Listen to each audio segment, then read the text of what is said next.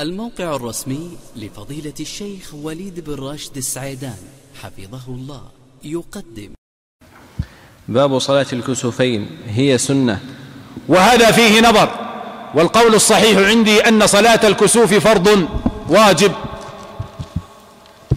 لأن النبي صلى الله عليه وسلم أمر بها.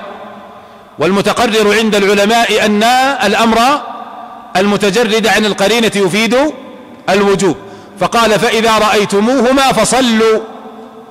وهذا أمر ولا نعلم صارفا يصرفه عن بابه فيدل ذلك على أن صلاة الكسوف واجبة. فلا يجوز للمكلف أن يتخلف عنها.